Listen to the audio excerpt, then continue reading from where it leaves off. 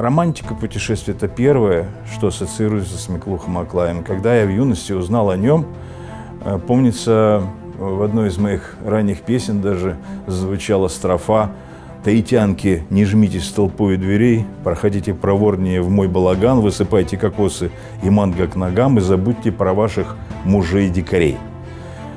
Не то чтобы от, прямо от Миклух Маклая, но от людей, подобных ему. Вот это происходит.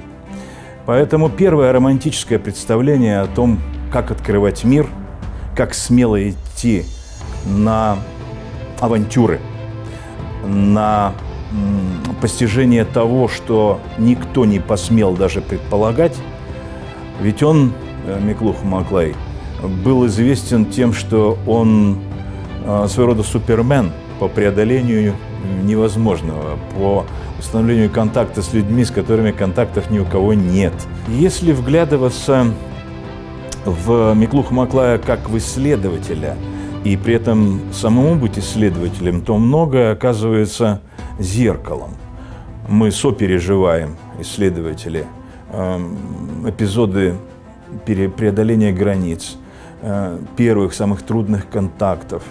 Миклуха Маклай стал символом э, этнографии, советской этнографии, причем именно советской. Э, хотя в российской действительности он тоже был фигурой очень заметной, но в большей степени даже вот канонизирован, если угодно. Он был в советское время, Институту этнографии было э, присвоено имя Миклух Маклая. И Кунсткамера, когда она была частью э, Объединенного института Московского, Ленинградского, тоже носила это имя.